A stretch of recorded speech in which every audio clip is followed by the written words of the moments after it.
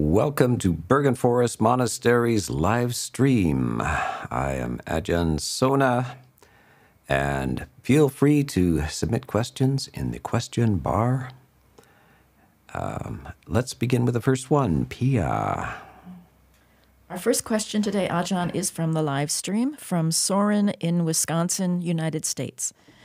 Hello, Ajahn. Thank you for your continued inspiration and guidance. Question There are some bhikkhus who teach that jhana is a state completely divorced from the five senses. What is your take on this? Well, that is one of the classic uh, phrases that is used in uh, in describing the uh, the first jhana as well. One uh, withdraws from the senses, the five senses. There are six senses in Buddhism, and the sixth one is the mind, but the senses of eye, ear, nose, tongue, and body, one withdraws uh, one's attention from those to focus inward. Uh, this is for the practice of jhana. There is uh, what happens though is that if one attains to the jhana or deep serenity concentration, um, there's an after effect.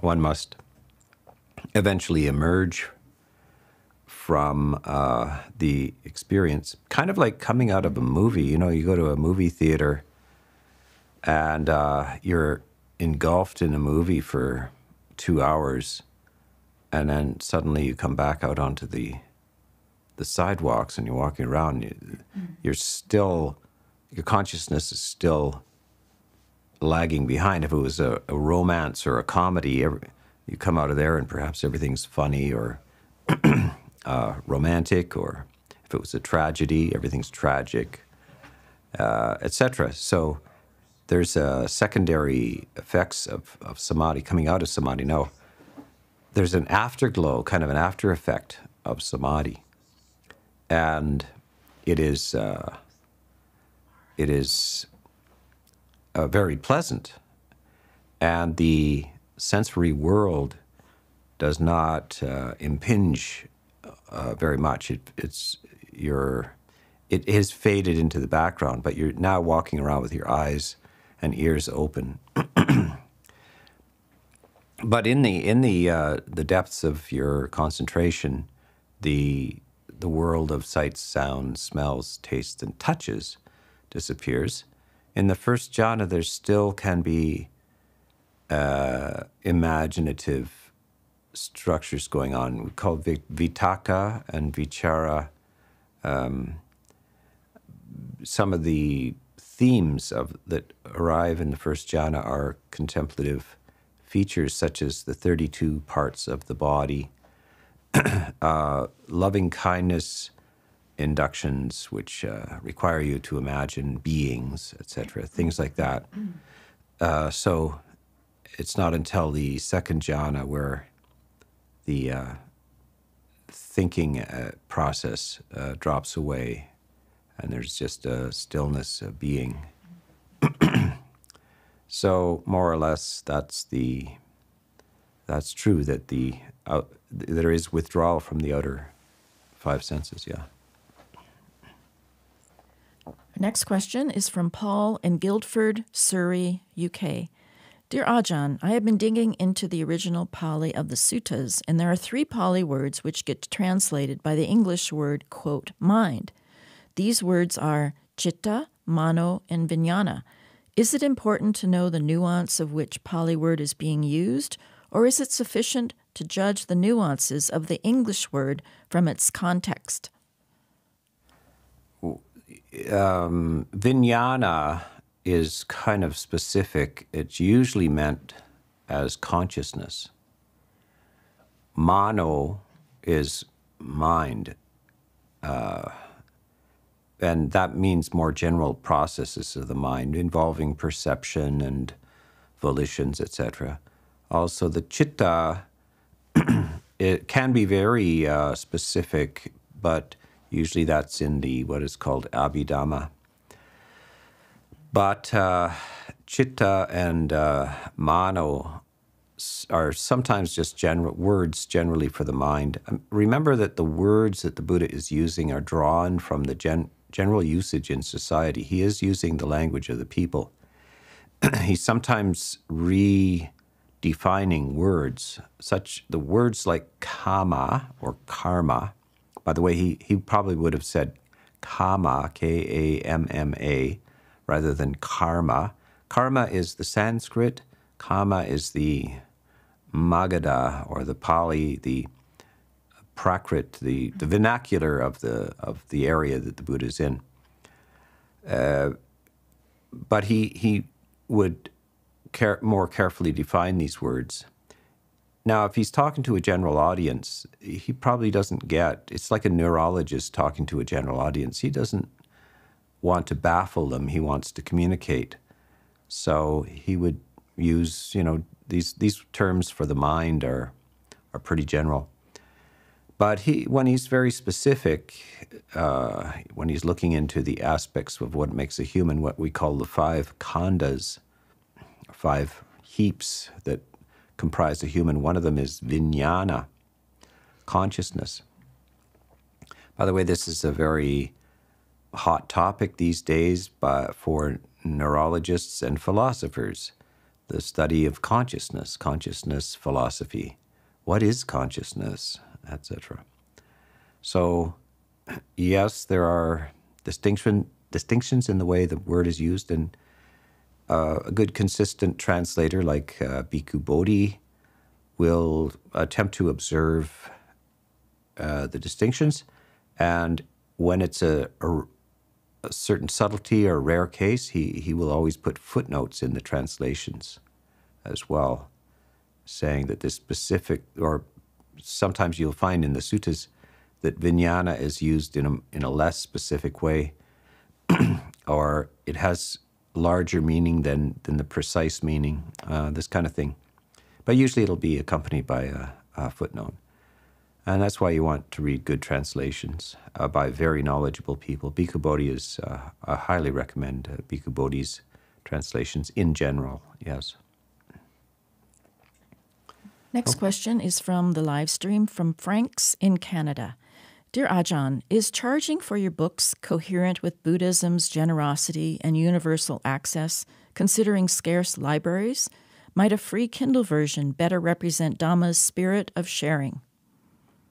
Yes, we we have to uh, question ourselves about all of this, and uh, we do.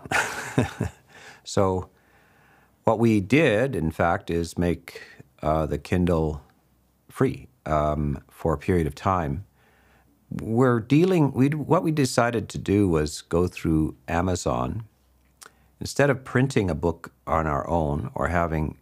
There are systems within the sangha various publishers and printers and so forth who who do this for the sangha. And sometimes, uh, remember, all all the, the free books which are made available are actually not free; they're paid for by somebody. So they're usually they're usually subsidized by some generous donor. They might sponsor a thousand books, and then you you you you come to a monastery and they say, "Would you like a book?" and they're free. So you take this so-called free book away. What what is meant at the time of the Buddha is the Dhamma, the teachings are free. So the monk doesn't charge for his teachings, and I don't charge for my teachings.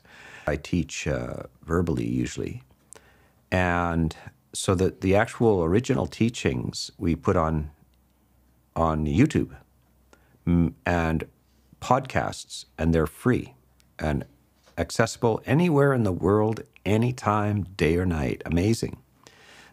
and they get widespread listeners. This is, I, I'm not interested in keeping this a secret. I want people to hear this stuff, but I, but I, and I also want them to voluntarily hear this stuff. We're not, we're not missionaries. We're not uh, confronting people on this on the street or knocking on doors saying, uh, Have you heard the good news? Doesn't work that way. Uh, we make it available um, and it is available free in uh, a number of different forms. But what at the time of the Buddha, there were, wasn't any writing, and there were no was no paper, and so paper is is a material stuff that costs money. You you it. I don't know why monks would be providing lay people with free paper. we we're happy to provide free dhamma, which is priceless, but there's paper involved, and postage and things like this. So somebody has to pay for this because bhikkhus don't have any money and they don't have paper. so the that distri- distribution structure, uh, people like Amazon or even uh, nonprofit printing places like Wisdom Publications, mm-hmm.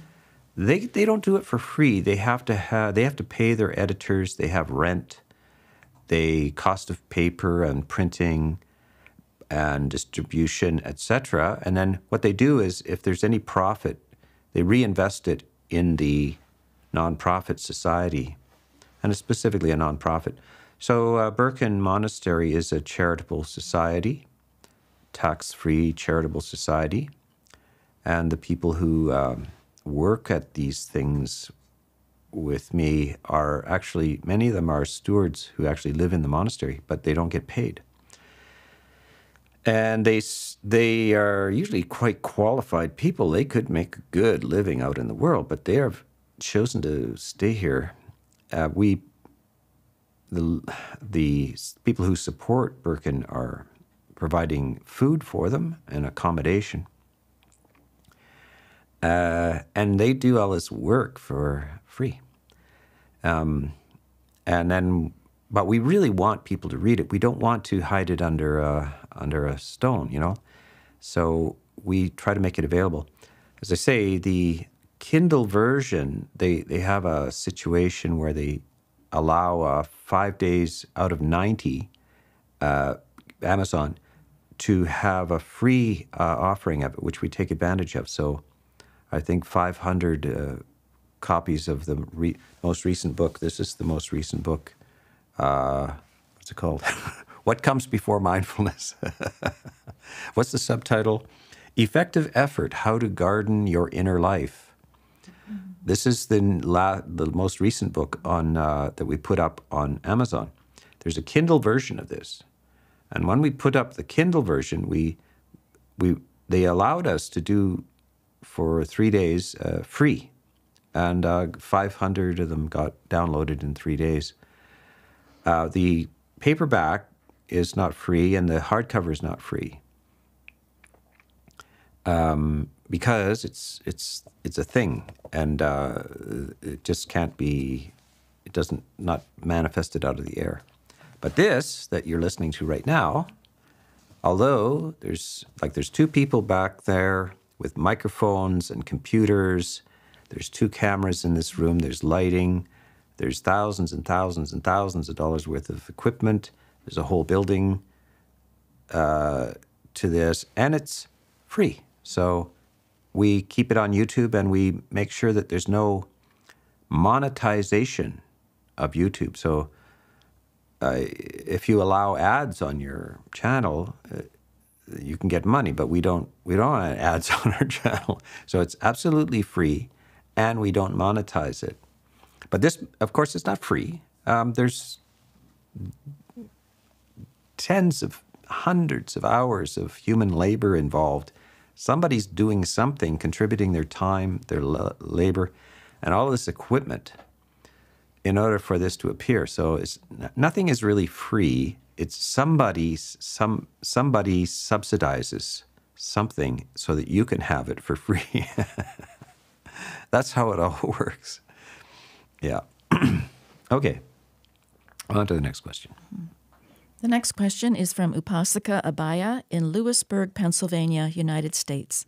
Dear Venerable Luang Por, discussing gratitude for our parents and teachers, Venerable Ajahn Liem said our parents and our teachers are, quote, the true devas illuminating our lives. Thank you so much. You are truly of veneration. Please share a lesson or experience you had with one of your teachers. well, especially in your early days as a um, approaching the monastic life, uh, because you don't just instantly become a monk. Your your teacher has your monastic teacher, uh, and not all teachers are monastics. Uh, there are lay teachers as well. They they they meet you when you're a lay person, and they uh, they evaluate you and encourage you and correct you, and uh, share with you along the way as a lay person.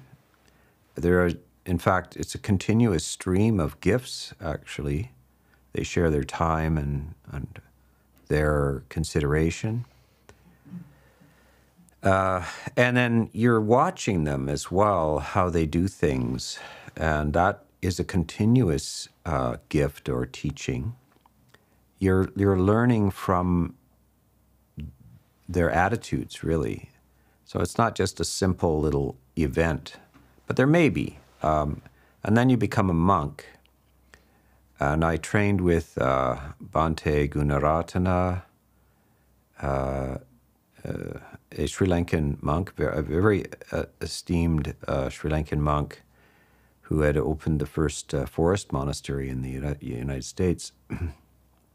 and he was a continuous example to me, a, a person of endless determination and energy, and of course, very bright. He had a doctoral uh, level, uh, doctoral uh, PhD in philosophy, as well as uh, a lifetime in the robes, and quite very, very impressive in terms of his uh, continuous uh, dwelling within the Dhamma, you know, and you know, he's from Sri Lanka, born in the in 1927, I believe, and you can imagine uh, the shift of cultures that he would have had to deal with in, in coming to the United States, and the fact that he was actually willing to put up with us. you know, he arrived in the 60s when the Americans were right out of their minds. a lot of young people showed up you know, this the whole hippie movement, the whole whatever was happening in the '60s was, for some reason, Buddhism came up as a kind of a, a an interest of the counterculture. So you can imagine Orthodox uh, Buddhist monks who had been in the robes since childhood in, in Asian countries in a totally different mindscape, uh, having to deal with these young savages that uh, would show up. And he did it with uh, great compassion. And uh, so, you know, I'm, I'm just so impressed. Uh, and then I went to uh, Thailand, and uh, seeing the behavior of the Thai monks is very impressive as well. But actually, the Western monks uh, in Thailand were uh, very impressive. My first teacher there was Ajahn Pasanno, who happens to be Canadian. And he was very impressive in terms of just like it's a very austere life. It you know you're up at three or even earlier every single morning. You're doing all night sittings once a week. The abbot of the monastery has all kinds of duties, and to maintain your equanimity and to keep teaching and lead the monastery is an enormous demand on character.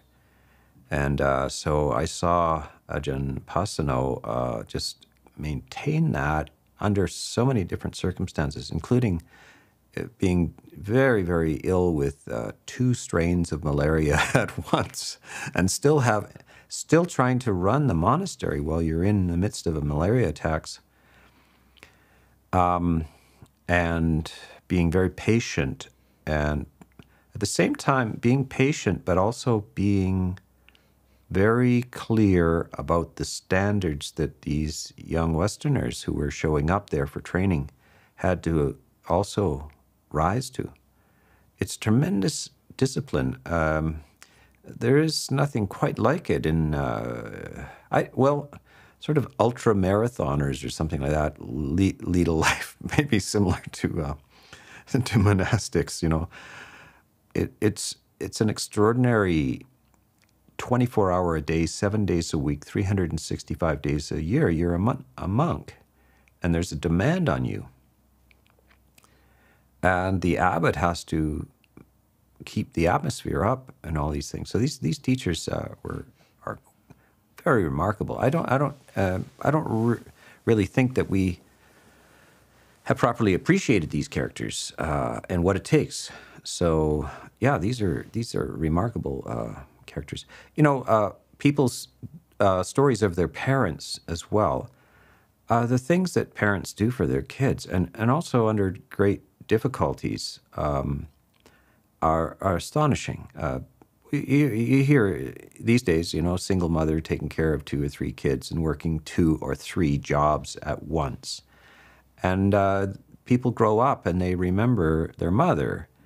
And they, they, if they make it in life, they, the first thing they do is they go buy their mother a house, make sure that they're kept well, because uh, they realize only when they grow up that what they what they owe their parents. You see, um, and you'll see many of these stories. So this is this is an act of love, but it's also an act of courage and determination. Uh, which these are the characteristics that you find in, in the people who who are willing to teach you.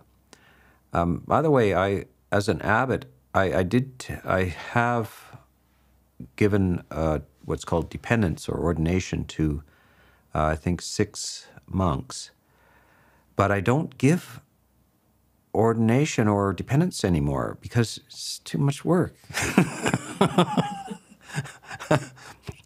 uh, I send them to Ajahn Pasanno or other senior monks because they're still willing to do it.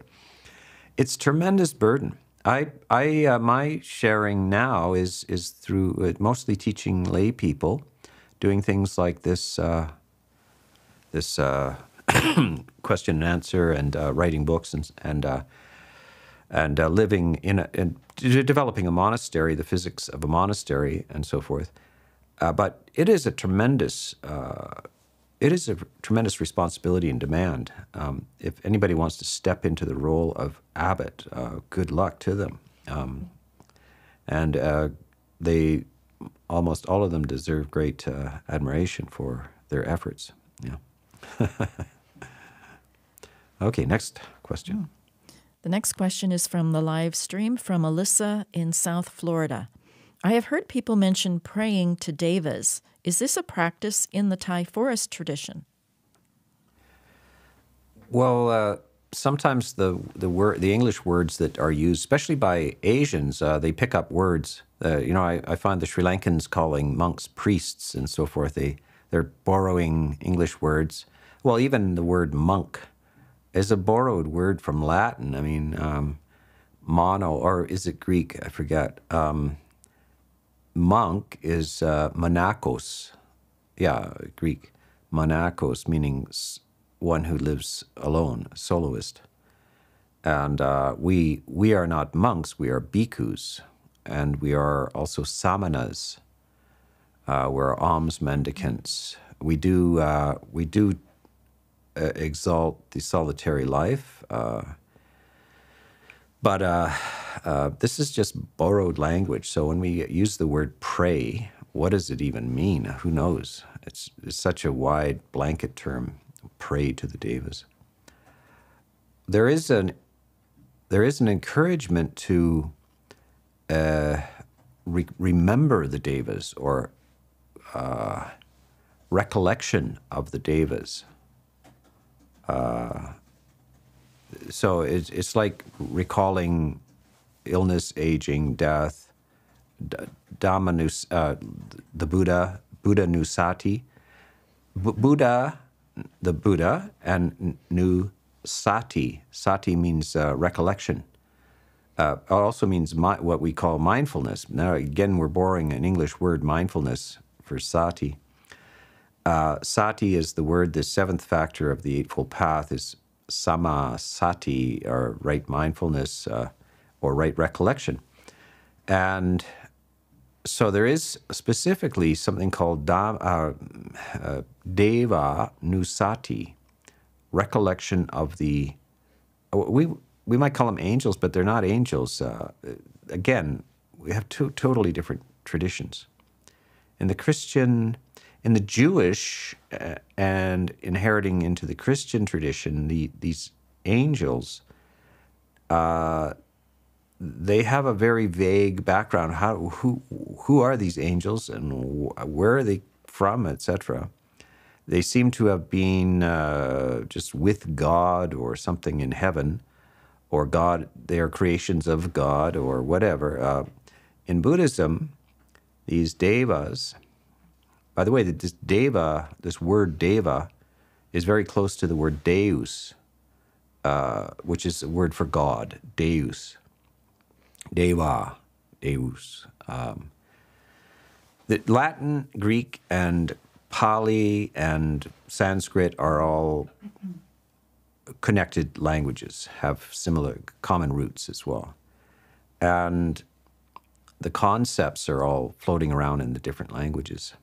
The devas in the Buddha, uh, in the, from a Buddhist point of view, have uh, arrived there from some place, and uh, one of the places you arrive there is from human existence.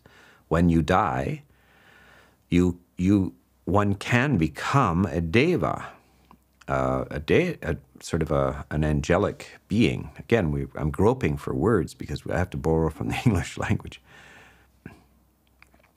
These devas are not particularly interested in humans. uh, there's all kinds of interesting descriptions of this. The the descriptions of heaven are in Buddhism are extremely precise and full of detail.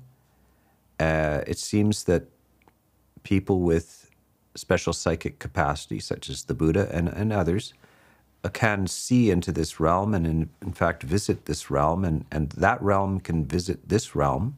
Devas appear and talk to the Buddha, ask questions of the Buddha frequently. Um, there are there are bo- whole books of descriptions of the, the realms that they live in.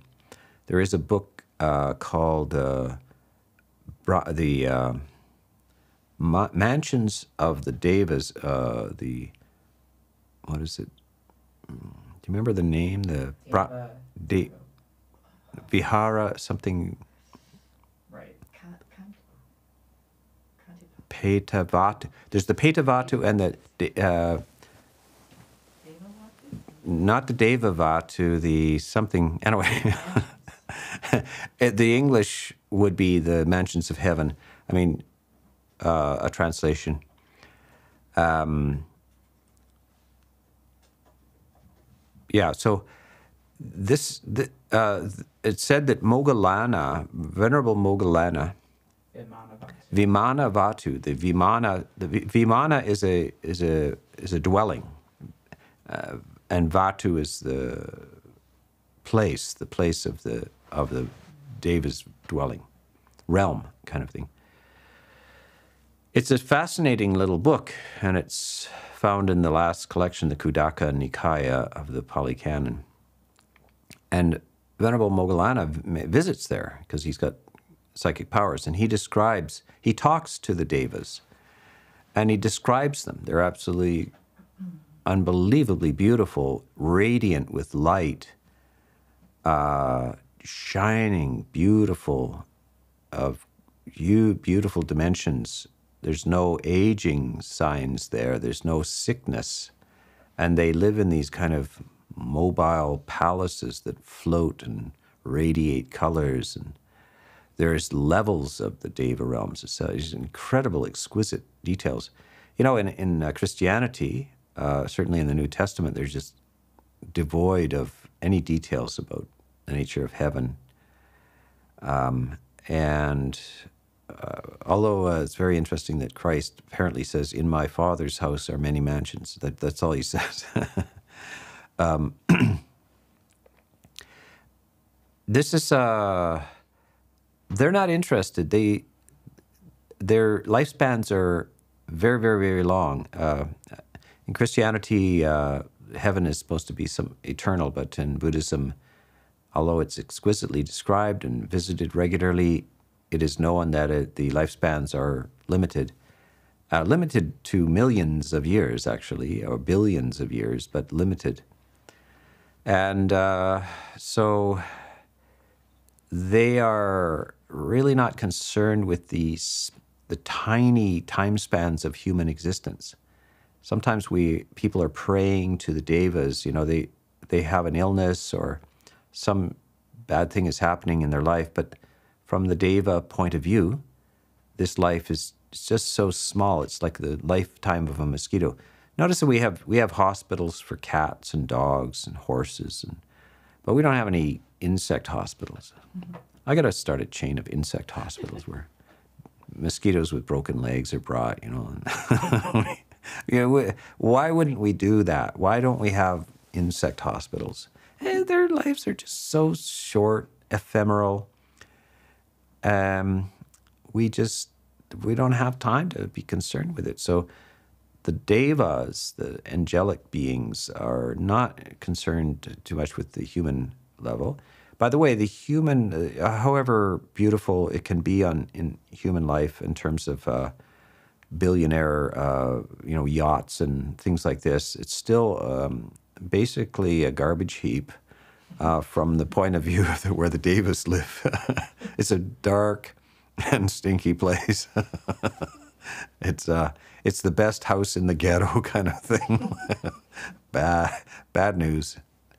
Um, so this is the the how the how Buddhism conceives of the devas and so forth. So we're not doing a lot of praying to the devas, but re- recollecting more or less your own deva nature, your own possibilities of uh, you achieve uh, you, at death you go there because of your generosity, your kindness, um, your virtue. That is the what the kind of consciousness that gets you to the deva realm. It's not by joining a club or getting baptized or any of these external rituals. They, they have no effect whatsoever. It is, it is your consciousness. You're, you, you are either Davic consciousness, you're either angelically uh, conscious or, or you're not. And you can't join a club that sends you to heaven. It's like a person who has got very bad manners who is sent to a really sophisticated uh, party, you're just you would be just completely out of place. If you, if your consciousness is not Davic, then you're you're out of place in heaven. There's no point in you being there. it's like taking a dog to an art gallery. You know, it's, the dog doesn't see art; they just smell oil paint. okay, let's move on from the Deva realm. Next question is from Alexandra in Brooktondale, New York, United States. I recently watched a video about conditions on an 18th century transatlantic slave ship. Seeing these hellish quarters was deeply disturbing and left me overwhelmed with grief. I know Karuna is a Brahma Vihara, and yet when I feel compassion, I also feel immense, even debilitating grief for the object of this compassion, how can I learn to experience karuna without also succumbing to sympathetic grief? Yeah, I want to unpack some of these terms for the general audience. So, karuna is uh, the name for compassion, it's the Pali word for compassion. And I think Brahma Viharas came up. This is the one of the emotions that uh, is shared by the the angelic beings, the devas, uh, in the Brahma realms. The, the Brahma realms are are the realms of the, these of these devas. Um, so you get there. You can get there by attitudes. So one of the the first attitude is uh, loving kind, universal loving kindness. So this is um, something you can enter. You can experience the deva realms here and now on, in this life by entering into a grand state of loving kindness. Uh, because the beauty, trans, you know, the delicate beauty of loving kindness exceeds the the mere mat- material beauty of the of the senses, right? So, and then the second one is is a subcategory of loving kindness. It's called compassion. And what is that? in the West, quite often compassion is confused with sympathetic grief. You're, you're weeping with, you're grieving, you are feeling their pain. You know, you're, you're sharing their pain. But the, thank goodness the Buddha is very clear about this. This it's just that's another form of suffering, which is very problematic because there's always somebody in dire straits, very difficult, suffering conditions. So if you're very compassionate, you will always all you will be taking on the suffering of everybody, and there's no way out. So the of course uh, Buddhism is all about coming to the end of suffering. So how do you come to the end of suffering while everybody else is experiencing it? You your compassion is, is simply a form of loving kindness for those who are suffering. And loving kindness is not a form of suffering. So you and it's actually a very beautiful heartfelt experience. It's love. And you are directing your loving kindness. Sometimes your actions will follow that. Sometimes the, the, there's no way to. So you're you're seeing this documentary on slave ships and the terrible things they did to people. Uh, we we we uh, if you look at human history, it's it's very easy to find endless uh, cruelty and uh, torture and suffering and so forth. And uh, when you look at this thing, you, you need to look at it with loving kindness, uh, but not with not grief and horror, um, because you are now adding to the cruelty of the planet. Because uh, that kind of grief and sorrow is is a form of self torment, isn't it? You are now also suffering. There's enough suffering in the world, isn't there? Do you want to add to it or do you want to take subtract from it? you want to add to the suffering? So this is the question you must ask when you when you plunge into sympathetic grief. You say, now, now what have I just done? Now there's one more person suffering in the world. I thought I wanted less suffering. So how about if I start with myself and say, okay, enough with the suffering. It's not necessary for me to suffer here. I don't need to inflict this suffering. Uh, somebody else is experiencing pain. My body is not in pain. May they be well, and maybe I can even give them some medicine or I can train as a doctor to alleviate pain or something like this. That would be a sensible response to this. Uh, if, if a person is in mental pain, then you can, you can learn Dhamma, you can be a, a therapist or a psychologist and uh, talk in ways which would alleviate their uh, suffering or you become a monk or a nun. And so we that's what we do. Uh, if we're teaching monks or nuns, uh, we would be teaching people how not to suffer, how to alleviate their suffering in their various situations. We're not uh, physical doctors. We're most definitely not treating people with medicines and uh, giving them advice about uh, health and so forth. We, we're, we're dealing with the mind so that's that's an act of compassion, uh, loving kindness. Wants, makes you want to share teachings which alleviate people's distress. So this is the proper uh, use of loving kindness. This is very poorly understood in the West, and I, I endlessly explain this. Um, that compassion is not sympathetic grief; it is uh, it is loving kindness for those who are suffering. Maybe that's my next book. Oh goodness. Okay. Yeah. Next question is from Emmy in Chiang Mai, Thailand. Ajahn, I've attended 10 day retreats in the past, and now I'm ready to commit to a month long retreat. There's plenty of Vipassana schools to choose from, but I am struggling to find one that focuses on samadhi. Would you recommend training in the Pa Auk method for this reason?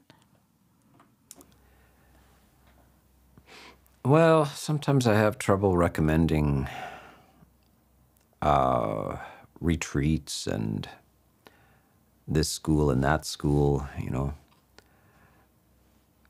I partly because I don't know the details of every school, but some of them I have practiced in some of these schools and uh, taken these courses, and read some of the uh, instructions and so forth. And I, I'm from a different school. I'm from a more a generalist naturalist school, um, which uses, first of all, sees that the Buddha teaches in many ways to many different people, and that there's a lot of careful tailoring of teachings to the individual. And when you have a school where you hand out the same technique to everybody, that's a that's a call. I call it a silver bullet uh, school. One silver bullet to, deals with everything. Uh, the why then does the Buddha have so many diverse teachings and, and for different people in different situations? So there, uh, really, the Dhamma is not a it's not a systemized technique. It's it, hopefully you meet people who are wise and have a depth of experience that can give you particular advice for particular times in your life and addressing your particular configuration of personality. So that that's the ideal situation to to be in. Um, I sometimes do give uh, longer length uh, samadhi retreats in uh, at Birken uh, before the COVID thing. I think the last uh, just before COVID hit in what was it May 2020? Was it April, April 2020? That's we were in a, a lengthy uh, samadhi retreat. What was it? Was it a month long one or t- two weeks, three weeks? Yeah. Two week uh, jhana retreat, and um, so I've experimented with uh, up to a month long retreats for for lay people in in samadhi. But uh, each person, uh, first of all, it's a limited number of people. You can only, as a teacher, you can only deal with a a certain amount of individuals, maybe a dozen, 15. Um, if you want to give individual cons- consultations and um, uh, the special situations, it's a very special atmosphere and and uh, it's not a it's not a one size fits all. It just isn't. Uh, there are no there is no just this technique. You know, there's a number of suggestions, but different people. Some people are have been traumatized, and some people are very healthy, and some people are frustrated, and they don't have good attention spans, and on and on it goes. So this idea of recommending a school or a silver bullet technique, I, I just can't, you know. Mm. Here's something I recommend: is uh, I gave six talks during that jhana course. It was a six, I think, and it's on the YouTube channel.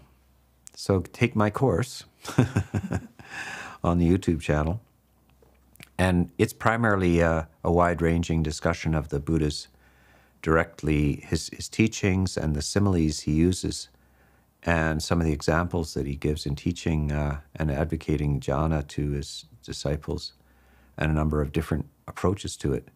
So there you go. Uh, find yourself a good situation where you're not distracted or burdened, uh, and spend a few weeks uh, perhaps uh, cultivating your practice and listening to uh, these Dhamma talks on, on jhana. I mean, there are many more by me. Uh, but those are like six exclusively just on jhana and a, an example of, of a two week jhana retreat. Yeah. Okay, let's go on. The next question is from the live stream from Tesfaye. Hello, my question is on dealing with pain. I have a disease and have been dealing with the loss of mobility. I feel unworthy. I want to learn how to not suffer anymore and let go. Please guide me.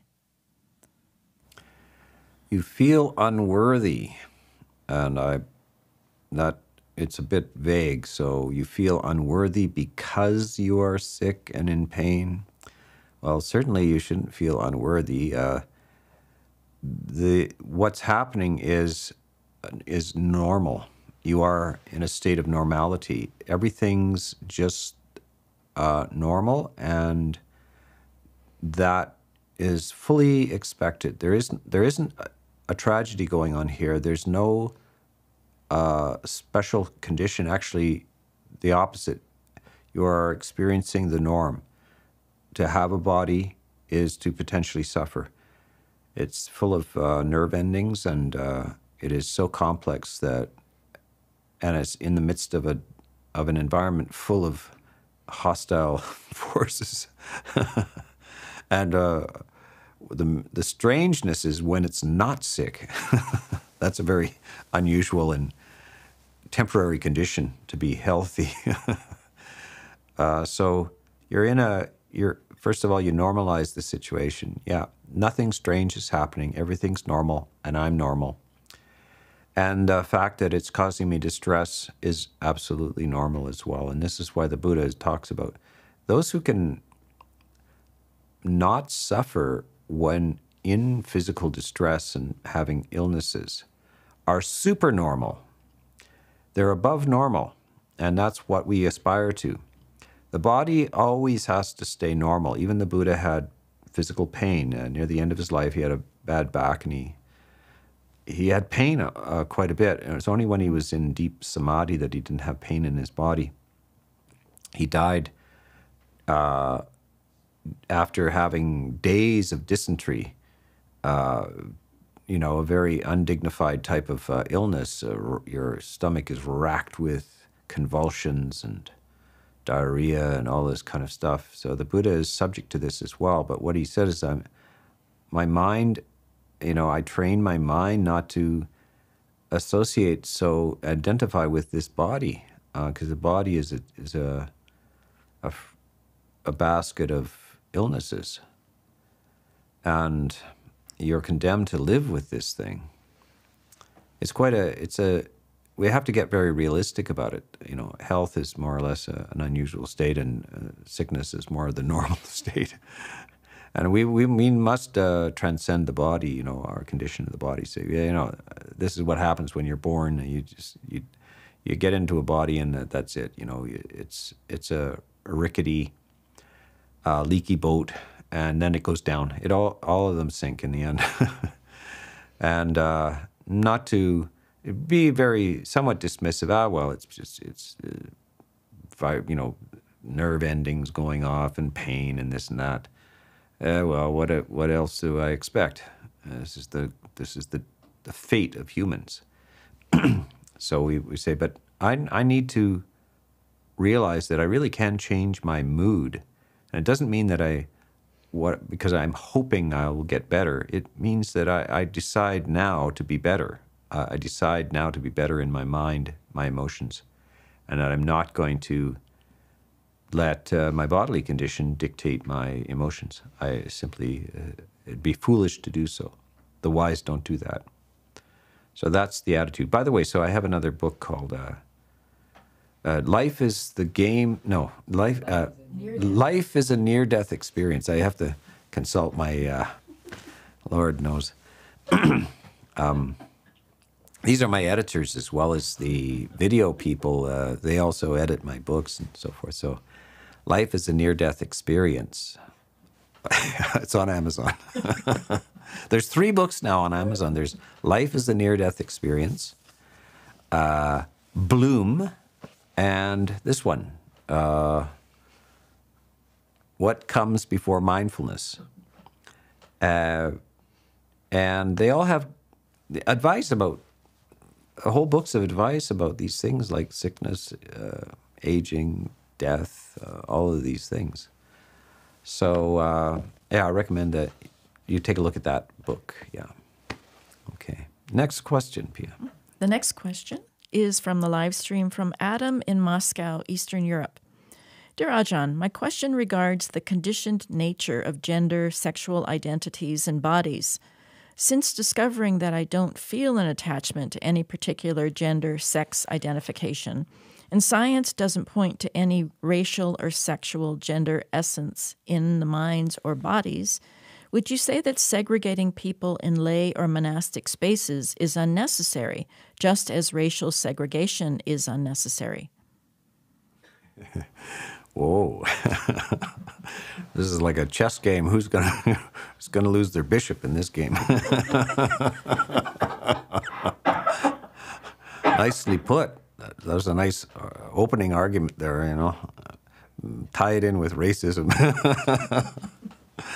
well, uh, I appreciate your reasoning. Uh, and certainly racism, uh, there is no racial segregation. The Buddha is very clear no racial segregation. Um, and there is no uh, discriminating based on caste. Of course, uh, India at the time, the, the Brahmin uh, structures were had caste uh, structures, and the Buddha cast cast them aside. He he over overthrew these arbitrary decisions. So people from the lowest caste came in, and if they were senior, uh, somebody from the royal caste or even from the Brahmin caste would be the attendant of somebody who came from the, the lower caste. You know, it was strictly based on seniority, and things went along for a few years. Uh, it was all male though, and then uh, his own relatives, his, his aunt who had raised him, you know, his mother had died early in his life. He, uh, when he was only seven days old, his mother died. And his aunt, his mother's sister, raised him from a baby. And she's nursing, she's uh, breastfeeding him and everything. And so he grows up. He's now 30, he's almost 40. He's, he becomes the Buddha at 35. He, he, uh, he's 40 years old, and his aunt and some of his uh, relatives show up, and they want to be nuns. And they're not only that; they're crying and making a fuss about it. And he's just in a, it's a, he's looking around at the society at the time and saying, "Oh my goodness, you know, women just." there's going to be a problem with this social situation. But he says, you know, there's going to be problems, but I guess uh, we'll do it anyway. So he's a he's a social uh, rebel. He is really upset. Um, certainly, the Brahmin caste, he has upset them. He has upset a lot of people, and he's going to even upset them more by having a woman's order and this is in history, this is so far ahead of its time. Um, he predicts that it, it, will reduce the the duration of the, the Sangha, but he's going to do it anyway. And then he has to deal with uh, gender issues because gender issues are a feature of the time as well. Uh, this is not new. I mean, somehow in the West, it's like what? There are people some that are kind of neither gender. What the? uh, Asia has a long history of of special treatment and interesting attitudes to this. They they recognize this in these cultures, um, and you see it regularly uh, described in the in the Buddhist teachings. Uh, people who are sort of hermaphrodite, um, who don't have distinctive gender or sexual features of either either sex, uh, and they have to deal with this. What about them? What about them? So they have some. Uh, they decide that women uh, can become nuns. Certain women, not every woman.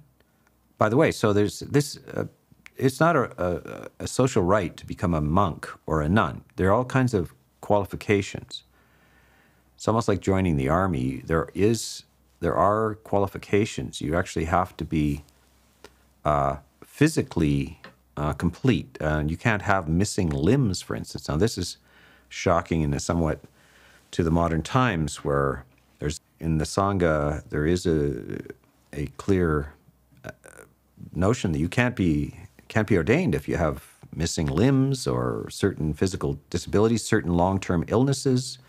Uh, if you're if you don't have your faculties, if you can't, if you're deaf, blind, uh, all these things uh, preclude you from being a, also uh, mental uh, disabilities. Um, the reason for this is they don't want the sangha to become a dumping ground for pe- people that, that that that that families don't want to take care of, or that the society doesn't want to take care of. Oh, we'll send them off to the monastery. The monks will take care of them.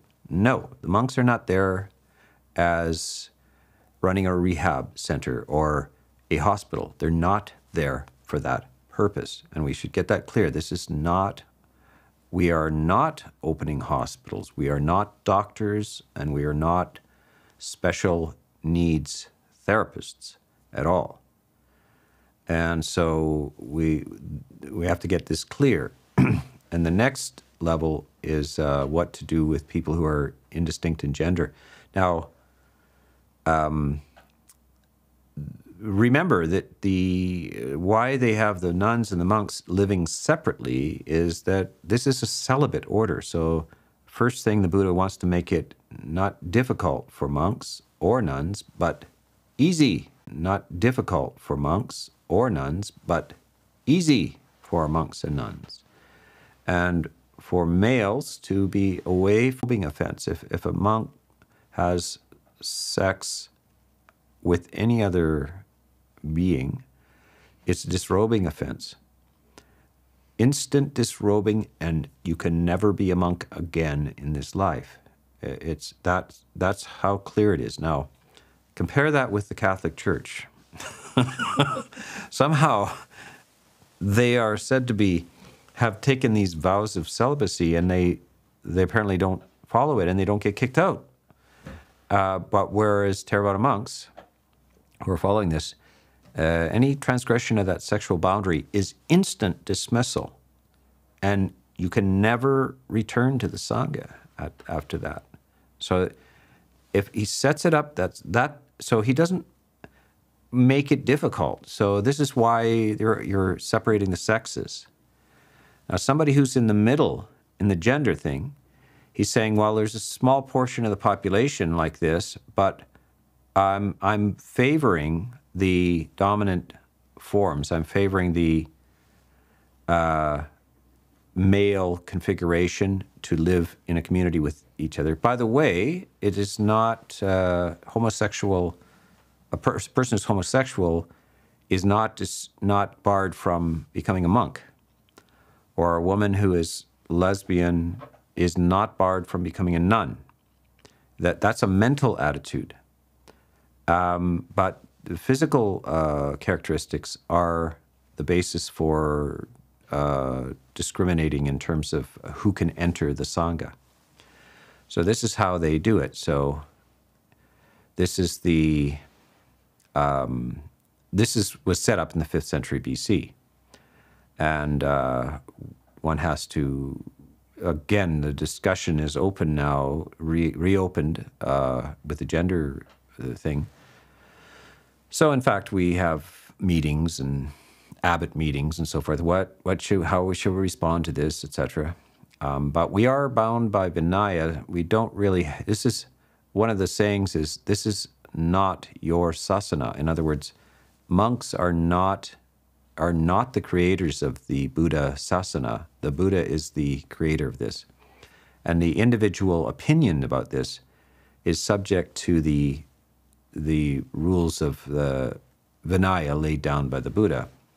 And so we have to consult with these. These are the constitution, basically.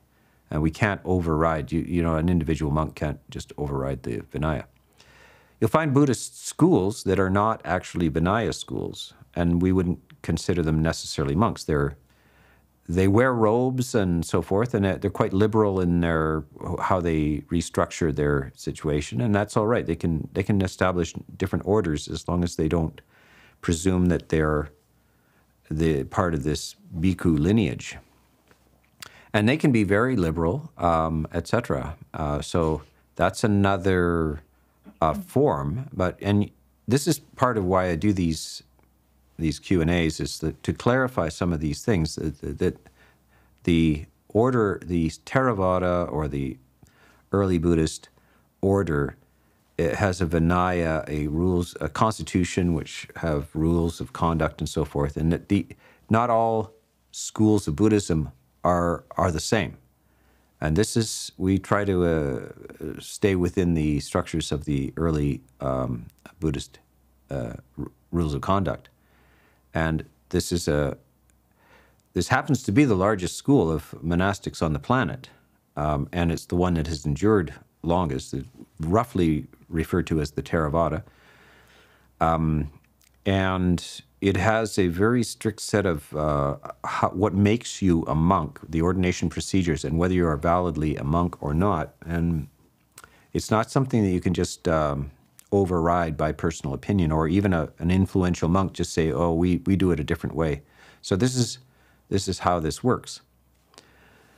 So, uh, uh, checkmate. okay, so we are um, we are done for today. We will be back next week uh, with.